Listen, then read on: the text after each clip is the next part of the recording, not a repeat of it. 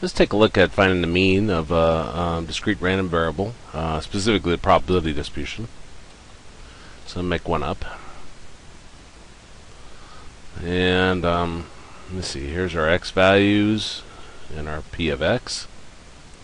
Let's see, I got 0, 1, 2, 3, and 4. And let's say that's 0 0.25, 0 0.05, 0 0.50. 0.15 and 0.05. Now let me add that up, make sure I did that right. 80, yeah, looks like it adds up to 1.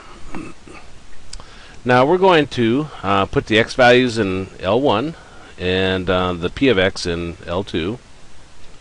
So press stat, do enter on edit. Uh, clean out those numbers.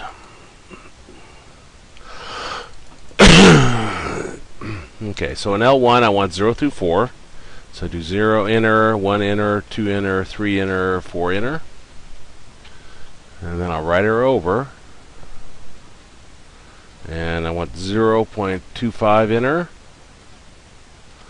0 0.05 enter, 0 0.50 enter, 0 0.15 enter,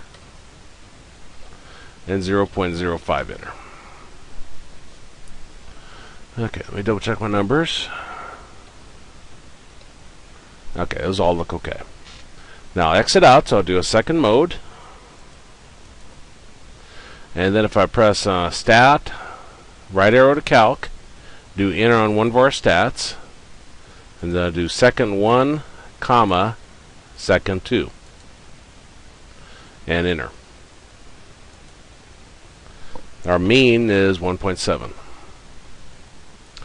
So uh, mu sub x is 1.7. Now, um, on your calculator, if you got the newer TI-84s, if you press mode,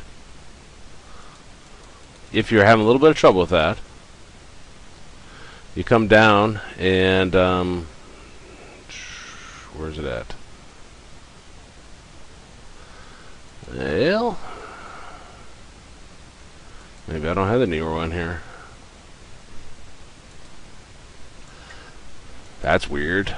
Uh, anyway, under uh, under here, you'll see something like Stat Wizards or something like that. You can shut that off, and then you'll see something very similar to what what I'm working with. Um, so I obviously don't have it on the little emulator here, but if you're having troubles with that, then then go look in the mode and um, shut off the um, the Stat Wizards.